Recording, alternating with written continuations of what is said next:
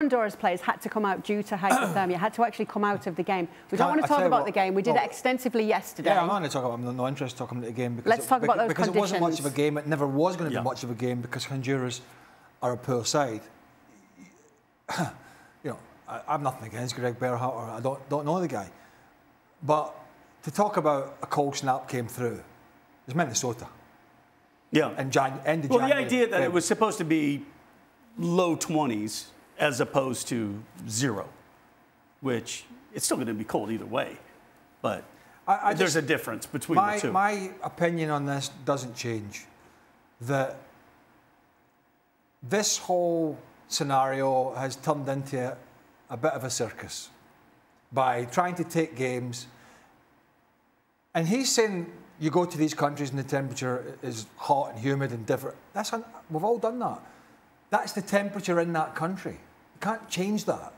What you can do is at least take it here in this country because you have so many options to a much better standard.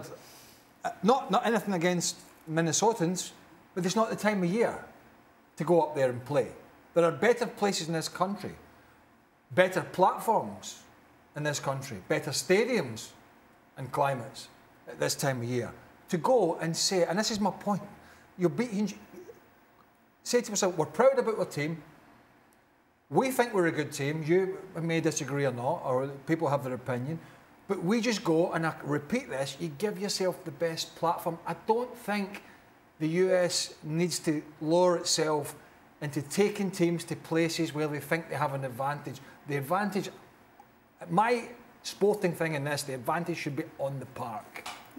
Right. I don't like that idea of trying to take people to cold places because that's better for us right. to win. And that even but, your own players don't play in regular. Yeah, I mean, when I true. When I flicked on the game and I'm seeing players right. playing with this. Look, it was extreme, no question about it. Um, but the the thing where you know having to play uh, in environments in my own country where Craig, you're not going and playing an international at Hampden and being the away team ever against any team. As an American, you can play. You could play 40 countries in the, in the metro New York area, and the U.S. will be the away team in that game. And it's something that us as players always felt what could the Federation do better for us to put us in environments where we have an unequivocal home field advantage? Now, we all thought going into Columbus and Minnesota in this game that the weather could be a, a significant contributing factor, but not only for success, but also to hamper the U.S. team because it will be so cold that it will make things difficult. In the end, the U.S. scheduled two games in difficult conditions. They got six points in those two home games, and they have a very good chance of qualifying for the World Cup. So, job You're done. okay with it? Job done. Thank you very much for watching ESPN FC on YouTube. For more highlights, analysis, and exclusive content, be sure to subscribe.